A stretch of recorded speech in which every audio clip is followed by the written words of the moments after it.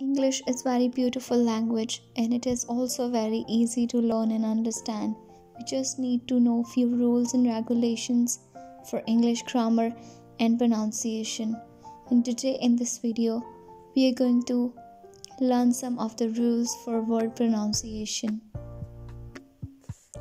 So pronunciation rule number 1 is if M comes before B, then B will go silent.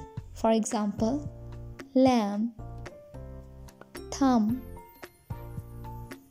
climb, dumb, tom, comb.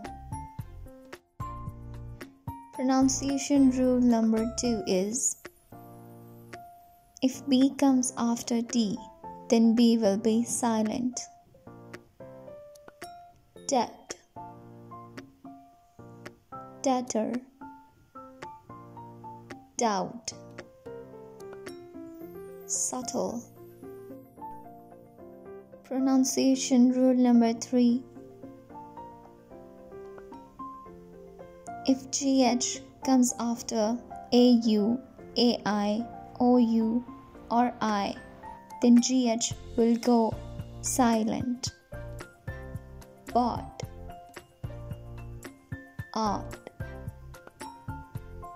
straight, frightened, bright, right. Pronunciation rule number 4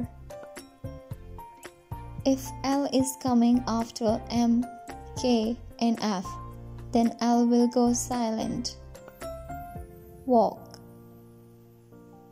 talk, cough, half, golf, bark.